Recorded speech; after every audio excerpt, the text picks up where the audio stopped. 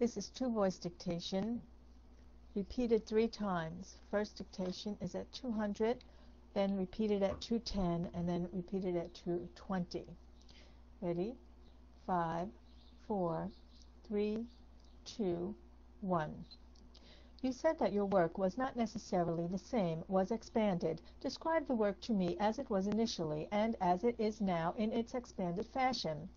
I now accomplish inspections of engines that are coming off of lease return to assure that all parts and accessories are installed on the engine. And what did you do before? I did records research. Actually, after about the first week or so, I started getting into what I'm doing now. I've been doing this almost since I started.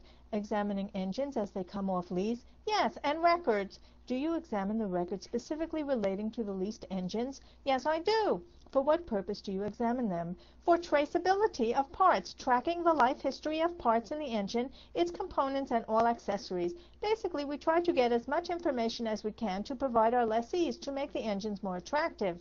Are you saying that by virtue of having these records you make the engines more attractive? Yes, the value of an engine is not only determined by the hardware but also by the records history of the engine. Okay.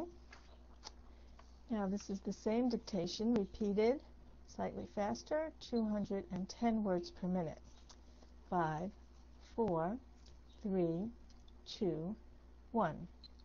You said that your work was not necessarily the same, was expanded. Describe the work to me as it was initially and as it is now in its expanded fashion. I now accomplish inspections of engines that are coming off of lease return to assure that all parts and accessories are installed on the engine. And what did you do before? I did records research. Actually, after about the first week or so, I started getting into what I'm doing now. I've been doing this almost since I started. Examining engines as they come off lease? Yes, and records. Do you examine records specifically relating to the leased engines? Yes, I do. For what purpose do you examine them? For traceability of parts, tracking the life history of parts in the engine, its components, and all accessories. Basically, we try to get as much information as we can to provide our lessees to make the engines more attractive. Are you saying that by virtue of having these records you make the engines more attractive? Yes, the value of an engine is not only determined by the hardware, but also by the records history of the engine to comply with FAA regulations. Where do you do the physical examination of the engines? Okay.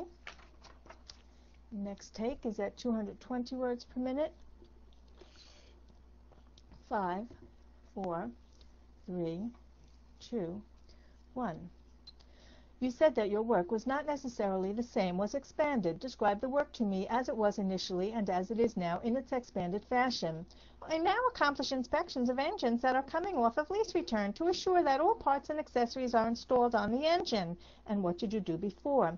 I did records research. Actually, after about the first week or so, I started getting into what I'm doing now. I've been doing this almost since I started. Examining engines as they come off lease? Yes, and records. Do you examine the records specifically relating to the leased engines? Yes, I do. For what purpose do you examine them? For traceability of parts, tracking the life history of parts in the engine, its components, and all accessories.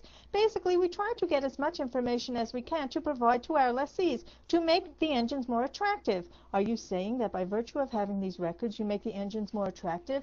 Yes, the value of an engine is not only determined by the hardware, but also by the records history of the engine to comply with FAA regulations.